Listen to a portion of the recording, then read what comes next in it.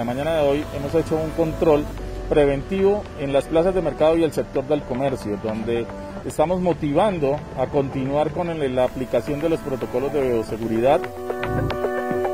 Estuvimos verificando todos los sistemas de seguridad contra incendios de las plazas de mercado en la cumbre. Eh, principalmente verificamos que cuenten con extintores, con sensores de humo, que las instalaciones eléctricas estén debidamente instaladas. La prevención es lo que vale más, más que cualquier cosa. Y estando uno, las personas enteradas y sabiendo lo que se debe hacer, pues ya es más fácil prevenir las cosas.